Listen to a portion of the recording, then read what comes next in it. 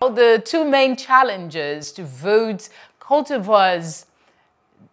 President Alassane Ouattara said they will boycott the October 31 presidential election, calling for their supporters to prevent the vote from going forward.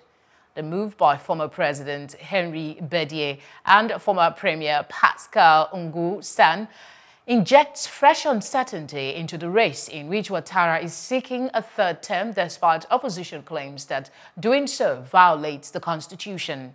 Protests against Ouattara's candidacy in August led to more than a dozen deaths and stoked fears of a new political crisis in the world's top cocoa-producing country.